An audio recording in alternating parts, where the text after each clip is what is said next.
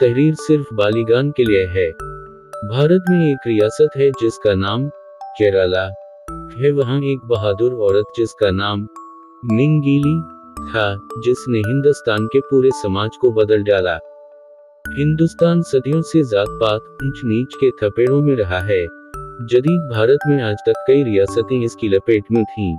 जुनूबी हिंदुस्तान की कई रियासतें इस जात पात और ऊंच नीच से आज़ाद नहीं थीं। आंध्र प्रदेश, कर्नाटक तमिलनाडु केरला, तेलंगाना वगैरह में भी अछूतों के साथ जुल्म व ज्यादतियों का सिलसिला जारी वसारी था। 20 फ़ीसद लोग जिनका ताल्लुक द्राविडी नस्ल से है, जो अपने आप को ऊँची जात कहते हैं, उसी फ़ीसद अछूतों पर हुक्मरानी करते रहे हैं और छूत गुलामी की ज़िंदगी गुजारते रहे हैं। पाकिस्तान में भी मुआशी व समाजी तौर पर कम वबीश ऐसे ही हालात हैं। ये कहानी मौजूदा रियासत केरला से है जहाँ अंग्रेज़ों से मुआहदे के तहत ब्राह्मणों की बादशाह कायम थी, जहाँ ब्राह्मण नीम खुद मुख्तार हुकूमत चलाते थे।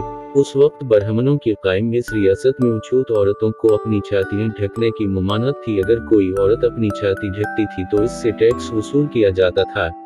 टैक्स वसूल करने की शरह कुछ यूँ होती थी कि इसको सर बाज़ार दोपटा हटा कर कमीज से इसकी छातियाँ बाहर निकाल दी जाती थीं और फिर सरकारी एहलकार इन्हें दबा दबा कर नाप तोल करते थे और साथ में जिनसी ज्यादती रेप भी करते थे। फिर इस छाती की साइज़ की मुनासिबत से टैक्स लागू किया जाता था। अगर किसी की छाती बड़ी होती थी तो इस पर टैक्स भी ज़्यादा लगाया जाता था। उछूत औरतों को बाज़ार में खरीदारी करने कुएँ से पानी भरने और भीड़ बकरियाँ चराते वक्त भी छाती को ढकने की इजाज़त नहीं थी। टैक्स के खौफ से तमाम औरतें अपनी छातियाँ नंगी लेकर घूमती थीं।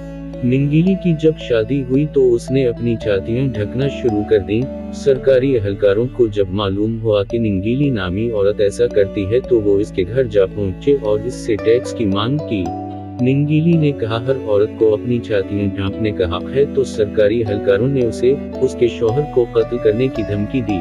मजबूर निंगीली ने कहा, मैं आप टैक्स अगले माह से दूँगी।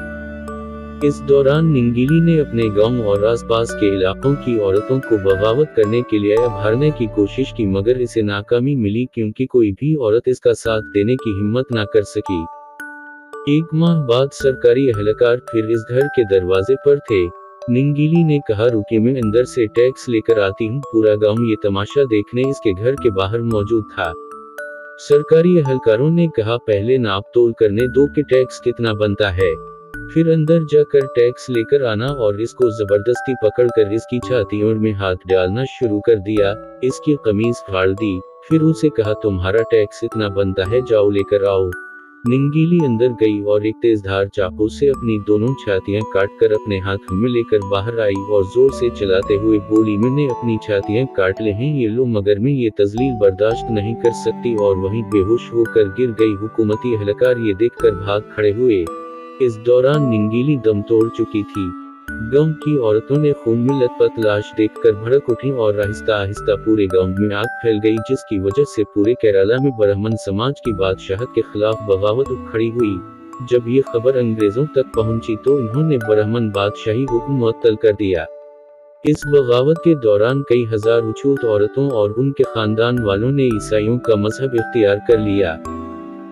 हुकूमत अछूतों की बगावत रोकने में नाकाम रही, जिसकी वजह से तब्दीली मज़हब का अमल मुसलसल जारी रहा। लोग धड़ाधड़ ईसाइत को अपनाते रहे और यूँ आज केरला हिंदुस्तान में अक्सरियत ईसाइयों की है।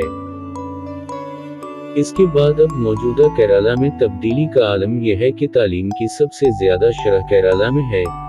जात पात ऊंच नीच का निज़ाम बिल्कुल खत्म हो चुका है। पूरे भारत में सबसे ज़्यादा मेडिकल स्टाफ का ताल्लुक केरला से है, जो मुंबई से लेकर दुबई तक हर अस्पताल में मौजूद हैं। एक औरत की कुर्बानी ने पूरे भारत से ब्राह्मण समाज को जड़ से उखाड़ कर रख दिया आज पूरे जुनूबी भारत में सौ साल से कम्युनिस्ट पार्टियाँ ही बरसर इकतदार आती हैं। बरए मेहरबानी इस चैनल को सब्सक्राइब कर दें ताकि आपको नई आने वाली वीडियोस मिल सके शुक्रिया